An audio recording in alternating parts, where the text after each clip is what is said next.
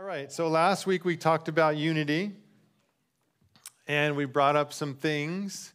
And I don't know if some things were brought up in your own heart, um, but we want to strive towards unity. It's something that God wants, it's something He desires. He prayed for it. John 17, before He died, this was His prayer, this was His desire. And why does He desire it so much? Well, number one, it's who He is. And we are being conformed into the image of His Son, right? The Trinity has a perfect unity within the Trinity Father, Son, Holy Spirit. Perfect unity. And we get to be invited into that unity, right? But He wants heaven on earth, and part of that heaven on earth looks like love, looks like unity. But not only that, when he prayed for us, you know God, he's so good. He doesn't he's not egotistical and just wants things because he wants things. He wants it for us. We are strengthened when we are in unity. We have support when we are in unity. We, have, we are stronger together than we are apart, right? It says that all throughout the Bible. And so we strive for that. There's, there's certain things that get in the way. And we're going on to this next part in 1 Corinthians chapter 1 and it talks about wisdom. So I want to talk about wisdom today. Now, it does touch on unity as well. Okay, so we're at 1 Corinthians 17.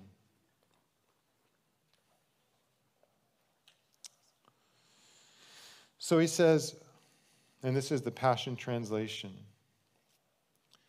For the anointed one has sent me on a mission.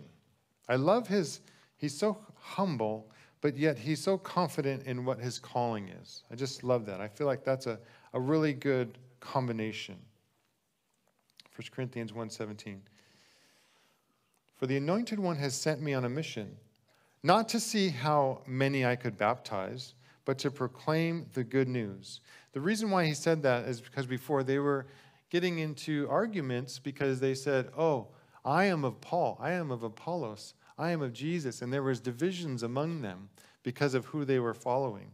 He says, I didn't come to claim numbers and say, I'm the one that baptized you and you know you belong to me. He said, I came to preach the gospel. I'm on that mission, right?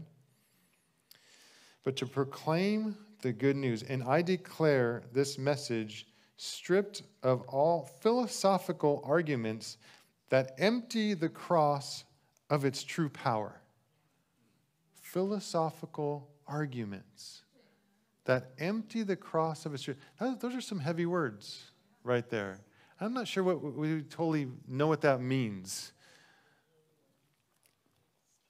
Stripped of all philosophical arguments that empty the cross of its true power. For I trust in all the all-sufficient cross of Christ alone.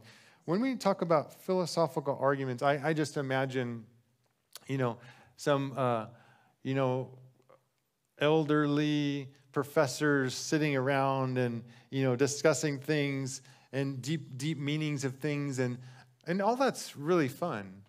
But when you have a group of elder professors sitting around and talking, and they're using their intellect to come up with answers for the world's problems, or maybe uh, astrophysics, or maybe trigonometry or maybe uh, uh, socialism. And they put all their minds together. They're not going to come up with the cross of Christ. Right. It, it, it's for, for that discussion, for that uh, exercise, it seems so far removed. It's like a fairy tale, right? They're not going to come up with, well, what we need is someone to come, you know, God to come as a human, die for us. I mean, it just, it seems so far fetched when you take it into the philosophical realm. So it does, it, it, it empties the cross when we get into that. To preach the message of the cross seems like sheer nonsense to those who are on their way to destruction. Ooh, it seems like nonsense. Have you ever talked to someone and they're looking at you like you're just nuts. You're saying Jesus died on the cross and forgave you of your sins so you can go to heaven. And they're like, What planet are you on? You ever get that look? Well, this is the reason. He's explaining this. Those that are on their way to destruction think that this is complete fairy tale nonsense. It, you, you are just believing something that is so far fetched, doesn't even make sense in this world. No, not to this world system. It doesn't make sense. And do we say, you know what? Those that are headed for destruction, if they are headed for destruction, the, the, um, the symptom is they look at the cross and its foolishness. That's the symptom for those headed to destruction. So do we say, well, those headed to destruction, there's no hope for them? So if they think the cross is foolishness when I'm sharing that, then I just walk away, you know, shake the dust off my feet and go try someone else. No, no, no, no. It will seem as foolishness to them, but it doesn't mean that we give up. Those are the ones we target. And so a lot of that has to do with the spiritual realm.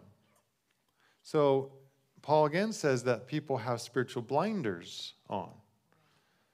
Blinders that they cannot see. You know, Paul, the Apostle Paul, he was the Jew of Jews. He was mentored um, by a Pharisee. He was a Pharisee. He was a teacher of the law, right? Top of the top. He couldn't see Jesus if he stood right in front of him.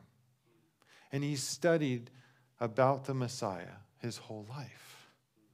Do you understand how that philosophical headspace can get in the way of the cross of Christ? But guess what? He was knocked off his horse, blinded, so that he came to a place where he said, Well, well who are you? When Jesus came to him and said, Why are you persecuting me? That would shake up anybody, right? right out of their philosophical arguments. But the problem is with the philosophical arguments is that they insulate you from reality. And so you think you're on the right track and you think that you have it all together because a spirit of know it all gets on you. And then you are deceived thinking that you know it all. That's the danger of it. That's the danger. And, and um, Paul goes on to say, But to us who are on our way to salvation, it is the mighty power of God. So we understand that. It is the mighty power. When we talk about the cross, when we talk about the blood, like, oh, yes, that's the power of God.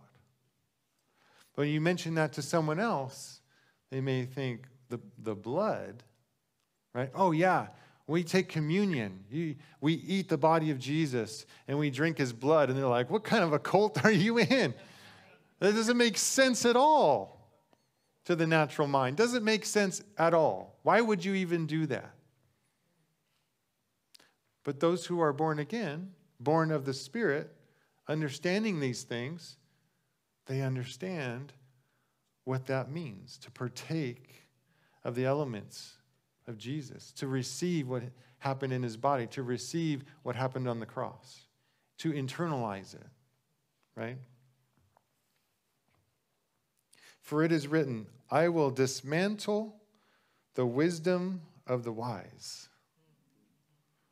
and I will invalidate the intelligence of the scholars. So, where is the wise philosopher who understands? Where is the expert scholar who comprehends? And where is the skilled debater of our time who could win a debate with God? I love it when the scientists called on God and they say, Listen, we can do what you do. We can make a human being. And they gathered all this dirt and they start shaping and forming and putting through all these tests. And they shaped this being that came to life. And God said, There's one problem with that. You got to get your own dirt. I made that. you can't debate God. Hasn't God demonstrated that the wisdom of this world system is utter foolishness? For in his wisdom, God designed that all the world's wisdom would be insufficient to lead people to the discovery of himself. It doesn't matter how much you study, you can't find God. does that sound depressing? What does that mean? That means God has to reveal himself. If God doesn't reveal himself, you can't find him. That's the power of a revelation, a revelation of God. And so that's why when you meet someone who's destined for destruction, they don't understand the cross, you don't keep arguing with them. You go right to war in prayer for them, for their soul. And that prayer changes what needs to be changed. And we begin to pray that God would reveal himself to them. God, reveal yourself to them. In the night, reveal yourself to them. Reveal your love, your goodness, your joy, your peace. Reveal the power of your cross to them. Take off the spiritual blinders. Do whatever you have to do, right? We all have people, neighbors, friends, family members that are not walking with Jesus. And they think that they are fulfilling their lives. They, they have a goal of what will fulfill them. But we see it and we're like, no, no, no, no, you're going down the wrong road. And they're like, oh, you want me to be in bondage over here with Jesus, who tells me what I can and can't do? And they don't realize it's freedom, total freedom. We've experienced it. But in that place of deception, they just see the complete opposite. And that's why we need to pray. And that's why we need to continue to pray until we see something happen. Amen. It's like Luke 18, that, that woman who begged the judge over and over and over. And Jesus said this was a godless judge who could care less. But he said, Because this woman is annoying me, I'm going to give her what she wants. Let's be like that in prayer to a God who's not a godless judge, who's a righteous judge, and wants them saved more than you do. So we pray like that, but differently. We pray like that, but to a different person. Someone who's like, yeah, keep going, keep going. Those bowls are almost filled of intercession until they're spilling over. Don't give up. You could be the only person praying for their salvation. I'm glad someone prayed for me.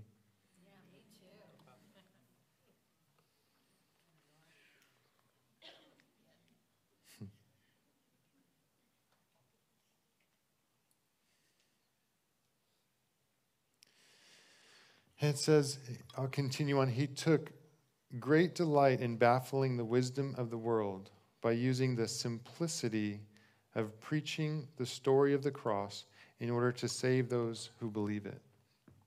To save those who believe it. This whole thing about Christianity has you have to cross over with faith. At some point you have to say, I believe it. And it's not going to get there by a, a um, truckload of evidence. You know what I'm saying? You can't wait for the evidence to come and convince you that every every dot matches and everything. You can't wait for that. At some point, you have to take a step of faith and say, okay, I believe it. I believe it. And then when you believe it, you begin to see it. For the Jews constantly demand to see miracles, miraculous signs, while those who are not Jews constantly cling to the world's wisdom. But we preach the crucified Messiah the Jews stumble over him, and the rest of the world sees him as foolishness. But for those who have been chosen to follow him, both Jews and Greeks, he is God's mighty power, God's true wisdom, and our Messiah. For the foolish things of God have proven to be wiser than human wisdom. I just, I always think of Peter when I think of that. When he was trying to tell the Jews about Jesus and they, and they saw the power on his life and they're like, isn't this guy, isn't he the one? He's not even a student. He, he wasn't schooled or anything. But he was, we see that he was with Jesus like the foolish things, proven to be wiser than human wisdom, and the feeble things of God have proven to be far more powerful than any human ability. Wow. Wisdom. It, it contrasts two different types of wisdom there's the wisdom of the world, and there's the wisdom of God. And we want to function by the wisdom of God, right? Well, what is that? What, what's the difference? What is wisdom? In Proverbs 1 1 through 7, it says, The Proverbs of Solomon, the, sons of, the son of David, king of Israel. To know wisdom and instruction, to discern the sayings of understanding, to receive instruction in wise behavior, righteousness, justice, and equity, to give prudence to the naive, to the youth, knowledge and discretion. A wise man will hear and increase in learning and a man of understanding will acquire wise counsel. To understand a proverb and a figure, the words of the wise and their riddles. This is the beginning of, the, of Solomon's book, the Proverbs. And he's laying it out to those who want to understand, to those who want to grow in wisdom. And then verse 7 just hits you right in the face. It says, This is the beginning. This is where you start. If you want wisdom, this is where you have to start. Every person has to go to this starting line if you want wisdom. And that starting line is this The fear of the Lord is the beginning of knowledge. The fear of the Lord. To say, You're God and I'm not. To come to that place of humility is actually the beginning of your wisdom journey. Not all that you've studied and memorized. And that is representative of the tree of knowledge. The tree of knowledge, and knowledge puffs up, right? The fear of the Lord is the beginning of knowledge. And then he says, Fools despise wisdom and instruction. Fools despise that. Someone wants to give, hey, can I help you with your life? Can I give you some advice? You ever seen someone just throw a, a it's like throwing away gold. It's when, when they received wisdom and they just throw it away. I just want to do my own thing. That looks like bondage to me. But someone who is wise will look at everything, will be open. They won't be a know it all. How did Solomon get so wise? We hear all the stories about Solomon, right? But in Second Chronicles uh, chapter 1, 7 through 12, this is the NASB, Second Chronicles 1, 7 through 12, we see how it came to be, how he started this journey. And so David, his father, died, and Solomon got put on the throne. And we see by his prayer that he's a little nervous. He's a little bit, eh, you know, um, scared and he requests something from God. And so, in that night, God appeared to Solomon and said to him, Ask what I shall give you. Wouldn't you love that? Ask and I'll give it to you. What do you want?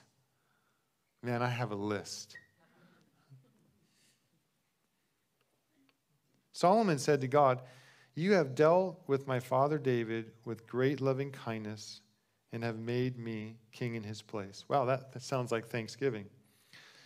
Now, O Lord, your promise to my father David is fulfilled, for you have made me king over a people as numerous as the dust of the earth.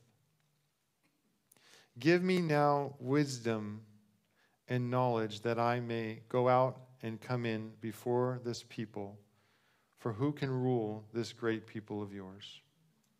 So he asks for something. He asked for wisdom and knowledge for the purpose of being king, for ruling these people. He got the heart of David. Because David, when he was put as king on the throne, it says that he realized that God has blessed him for the sake of the people. He's like, wow, you know what? I realize I'm so blessed. God has blessed me, but you know what? I realize it's, it's really not for me, it's for them. So that I can lead them into prosperity. And so Solomon got that from his dad. He said, You know what I need more than anything? I need wisdom. Because how am I going to rule all these people without wisdom? I don't know what I'm doing.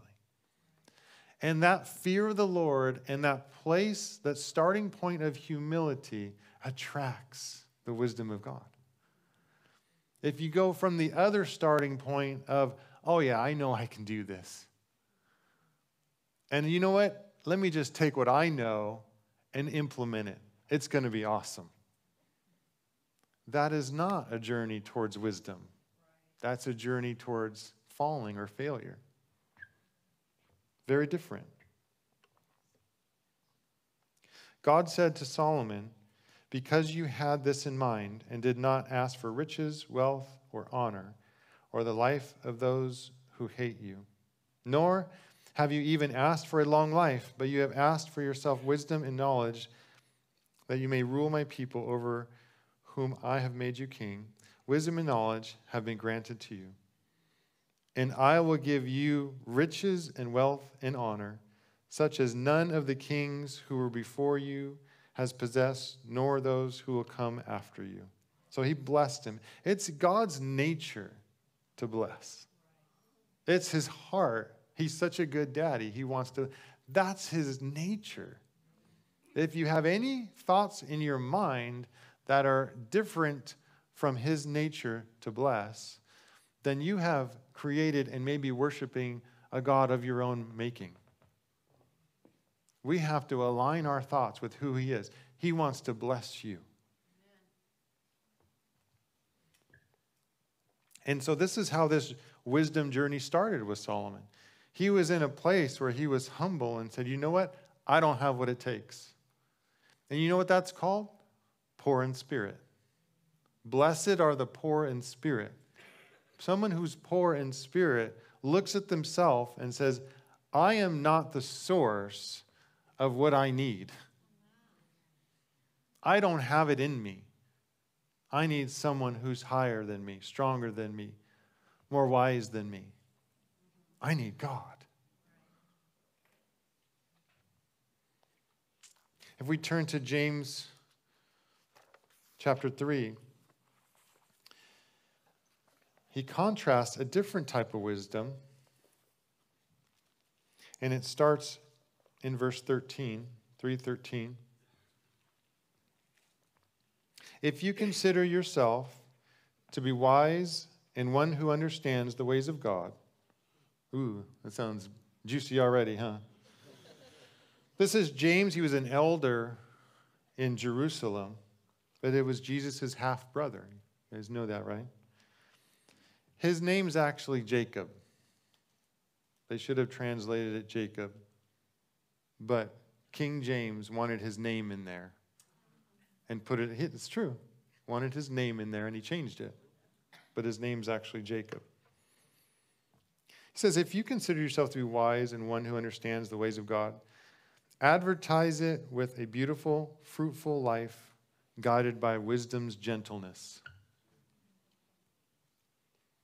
Never brag or boast about what you've done, and you'll prove that you're truly wise. So good. Because once you brag about your wisdom, you're proving that you're not wise. but if there is bitter jealousy or competition hiding in your heart, then don't deny it and don't try to compensate for it by boasting and being phony. For that has nothing to do with God's heavenly wisdom, but can best be described as the wisdom of this world, both selfish and devilish. I don't even have to preach. I just read this. It's just amazing. If you can get that picture, because this is what heaven sees. When people boast about what they know, heaven is like, oh, that poor guy. When people listen intently and expect to gain something from everyone and anyone, heaven is like, wow, there's some wisdom there. They're going to go places.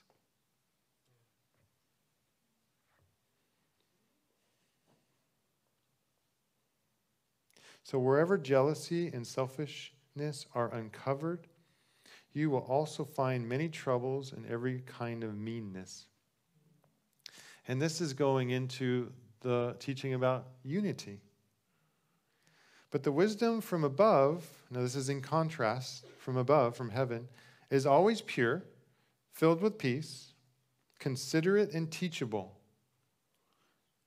It is filled with love. Wait, let's go back. You're saying someone who really has wisdom is teachable? I thought someone who really has wisdom is not teachable. Do you see how the contrast, the heavenly wisdom, is so full of humility? And those that have humility will continue to grow in wisdom. Those that say, I know it all, will plateau in what they know. Because guess what the word wisdom is in when we read it in Second Chronicles? When Solomon asked for wisdom, guess how you translate that? A listening heart. A listening heart is wisdom. A listening heart to God. He said, God, give me a listening heart, and I may always have one eye on you, one eye on the people. I want to know what you're doing. I need to know. I want to always be listening to you. And this is the same in the New Testament with the Holy Spirit, always listening, right? When I have counseling appointments or ministering to somebody, man, I don't know what to do.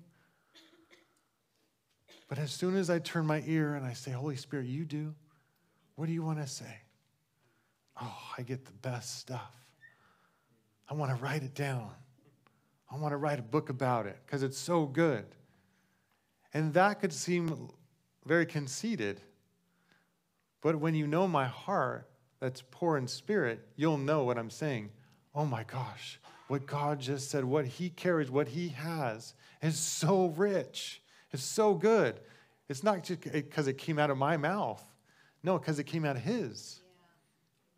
And when you have that listening heart, continually be listening, then even people who may seem young or lowly or unsuccessful, even, I don't know, you have that listening heart. You say, God, what does this person have for me? And then there becomes a culture of acceptance and celebration. We begin celebrating each other. Because then we begin to discover every single person is carrying something good. it's amazing. Then we start to celebrate Christ in you. And I get to experience Jesus all over again through you because there's a different facet of God's love in you that I don't know. And I don't have until I begin to listen. A listening heart. Teachable. It is filled with love and never displays prejudice or hypocrisy in any form, and it always bears the beautiful harvest of righteousness. Good seeds of wisdom's fruit will be planted with peaceful acts by those who cherish making peace. Making peace. How do we do that with those that are opposed to us, those that maybe are annoying, those that have a different um, viewpoint than us. Well, it's you can listen when you don't have to prove yourself. When I have to prove what I know and that it's right, then I'm not listening. You know, when, eh, when early on, when Andre and I would have discussions, I would always be thinking of the next thing to say that I'm going to say while she's talking. It doesn't work very well. I went down that road, it doesn't work very well. So instead, we listen to the person. What are they saying? I want to understand what they're saying, right? That's, that's the goal in unity is to understand each other's hearts, not think of a rebuttal while they're speaking. Then you didn't hear anything, right? But this is good right here. Gets into chapter 4. What is the cause of your conflicts and quarrels with each other? Doesn't the battle begin inside of you as you fight to have your own way and fulfill your own desires? See, unity, unity doesn't work very good in a self centered culture. Everyone's trying to get their own desires fulfilled. That doesn't promote unity. Because what promotes unity is love. And the object of love is always the other person. You jealously want what others have, so you begin to see yourself as better than others. You scheme with envy and harm and harm others to selfishly obtain what you crave. That's why you quarrel and fight. Selfishness. That's not love.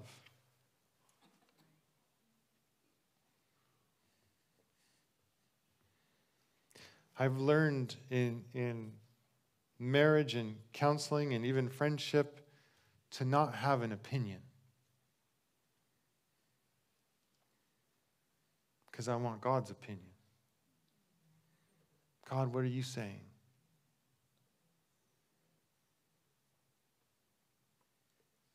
We can go a long way when you don't have opinion. Even Proverbs says, the man who doesn't talk much looks wise. It's so true. Just don't say anything. Just sit there and listen. And everyone thinks, man, whew, that Val, he is wise. He didn't even say anything. it's a good word. But do you see the contrast between wisdom from above and worldly wisdom? It's really all about the heart. That's where it starts, in the heart. It's your heart motives. It's your heart motives. And we aren't to be self centered or selfish. We are to give our lives away. We are to lose our lives, and then we'll find it. And then there's this whole other topic of uh, the supernatural gifts, the word of wisdom in 1 Corinthians 12. We don't want to um, confuse it with, with that. In 1 Corinthians 12, 4 through 8, it says, Now there are a variety of gifts, but the same Spirit, and there are a variety of ministries, and the same Lord. There are a variety of effects, but the same God who works all things in all persons. But to each one is given the manifestation of the Spirit for the common good. For to one is given the word of wisdom through the Spirit. What is a word of wisdom? Um, I didn't know I was, I had or I was functioning in this until my friend um, pointed it out one time. We were on a mission trip. We were in the Philippines, and my friend Pastor Doug, we were um, listening to this woman, and she was saying all these things that were happening, and she doesn't know why basically, and what do we do? And, and we are just listening over breakfast and all that. And then something just, and I'm asking the Lord, and something pops in my head that, that strings all of the events together in a, in a unified goal. And I said, You know what I think's happening? That's because of this, this, this, and this. And then that's the result. And, and I, I kind of just said it like, like maybe. And Doug looks at me and said, That's a word of wisdom. I said, Oh my gosh. That's amazing, right? And so, wisdom, the definition of wisdom is not necessarily knowledge, okay? You can know a lot of things, okay? You could study this room, uh, every single detail. You can count the lights, you can count the tiles on the ceiling, you can know the, the exact name of the paint on the walls, you can know the square footage, you can know all that you see. That's knowledge. But wisdom goes beyond what you can see. Wisdom knows how it's standing. Wisdom knows the foundation. Wisdom knows the structure. Wisdom can see into the walls and sees the two by sixes and how they're nailed together and how the drywall is nailed to that and how it all functions and the electricity and where, where it runs. It can see through walls. To the wisdom is, is how things work. Knowledge is to memorize facts, but wisdom is to know how things work. And a word of wisdom, a supernatural word of wisdom, is when God gives you the reason behind what's going on. And it, say, it says in James 1 if you're going through many trials, ask me for wisdom and I'll give it to you generously. So when you're going through trials, instead of saying, God, change this and change that, you say, Oh God, give me wisdom. What's happening right now? Why is this happening? What's going on? And I know you, you're always up to something. So give me wisdom. And if you don't necessarily get it right away, just continue to ask and believe in what he said. As a good father, I will give generously. That's a promise. That's a promise. Sometimes we ask for wisdom, what's going on, and then someone else comes along and, and just gives us a little nugget. We don't realize that that's how God's answering. But that's a word of wisdom. So be paying attention to that when your friend's sharing with you what's going on. And you say, God, what's, why is this happening? Give me a word of wisdom. Amen? Amen.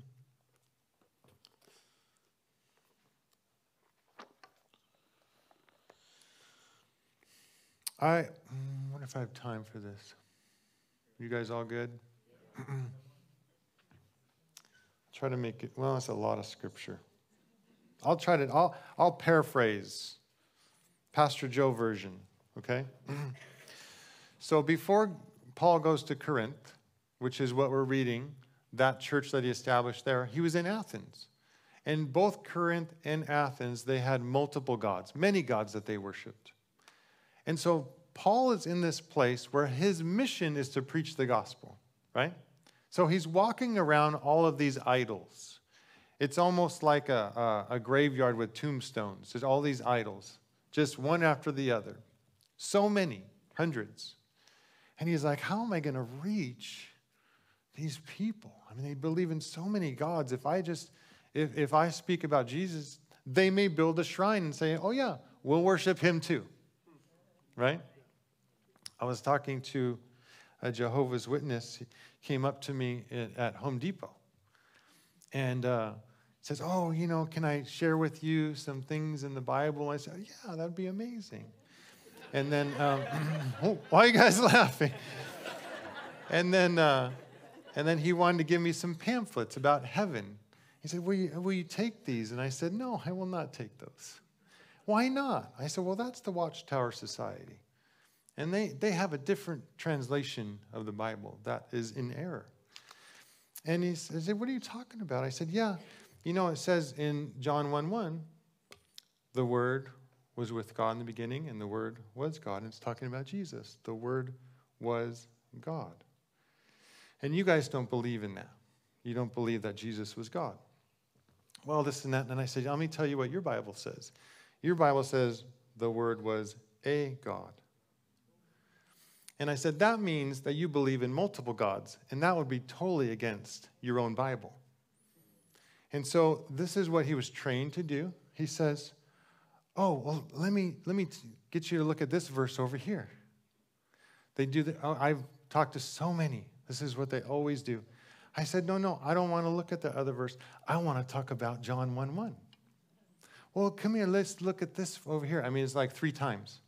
And I said, This is what I encounter with you guys is that you will not address this one thing. Let's address this one thing. Is there multiple gods or only one God? And he said, Well, you know, it's the holidays. I don't want to argue. You know, let's not get into a tiff or whatever. I said, You're right. You're right. We don't, we don't have to go there. But this is what I encounter every time. And I said, Listen, I really hope I see you in heaven. And I bless you. Have an amazing day. And that was it, right? But Paul finds himself in this similar situation like, how do I reach people? And he's seeing all these idols, and he finds one idol, and it says, to the unknown God. And he gets, uh, he gets wisdom from heaven. He's asking, he's walking through these idols, and he's asking Holy Spirit, how do I do this thing? I know my mission, and I'm not just going to go in and preach the gospel like the same way every time. Listen, because it would fall on deaf ears. He's asking Holy Spirit, how do I reach these people? And so then he goes before them and he says, you know, he, he almost like encourages them. I see you worship so many gods. And he says to them, You're very religious. And that was a good word in those days. You're very religious. You're very devoted. And I saw a shrine to the unknown God. And I want to tell you who that unknown God is. That unknown God is someone I know personally, and He's the creator of the universe. And He begins to explain in their own language. It's just genius. And I'm not going to attribute that to Paul because Paul said himself, I don't come to you with eloquent speech. I come with the power of God and a demonstration of the Spirit. So, what was that? Was that he studied for a week before he went. He just, no, he was going around and he's saying, God, how do I reach these people? And guess what? A bunch of them believed that day in the gospel. And it opened their minds up because he was functioning with heaven's wisdom. He was functioning from a place where he was poor in spirit. He had the fear of God. And he said, God, I need you in this place. And that leads to wisdom. A listening heart is wisdom. A listening heart is heaven's wisdom, but it looks like something. It's, it's all full of love and joy, and it, it seeks peace, right? Not arguments, it seeks peace. And so when you're listening, man, you will have so many friends. I guarantee you, people love it when they can talk about themselves. And if you listen and encourage, if anyone's lonely out there, learn how to listen and encourage what they're saying. Tell me more. But I'm, I'm kind of joking. This is more, you know, obviously towards the Lord. Wisdom begins when you say, God, I need you. And here I am. I am listening and looking for what you're saying and what you're doing. That is heaven's wisdom. Put simply, that is heaven's wisdom. We want to get rid of the, the know it all spirit, the one that puts you in danger because you think you're in a good place when you're not. And we want to go back to the wisdom of Solomon, who maybe he didn't end well, but how that wisdom got there was by being poor in spirit and asking for a listening heart. God, I want to serve your people, so give me wisdom for that. Amen? so let's stand. We're going to worship. but God, if the truth be known, we need you more than we realize. And we really do want heaven's wisdom to flow through our lives. We want to pull on your resources. You are the smartest one in the universe. Why wouldn't we rely on you? So, if you're bold enough to pray this, God, develop in me a listening heart. One that doesn't boast about all that I know, but listens for what you're doing, acknowledging that I am poor in spirit I need you, God. I need you, God. Develop in me a heart that hears your voice. Give us wisdom. If there's any trials going on out here, we ask, according to James chapter 1, we ask for your wisdom that you said you would give it generously. And we just cling on that promise. You said you'll give it generously. You're a generous God. And so we ask right now, what's going on? Give us wisdom because we want to uh, we want to succeed in this trial. We don't want to just get out of it. We want to conquer it. We want to grow in it. We want to be champions in it so that we are overcomers and not scaredy cats. We want to overcome, and we need your wisdom on how to overcome the trial that we're facing right now. We don't turn and run from it. We say to that mountain, move.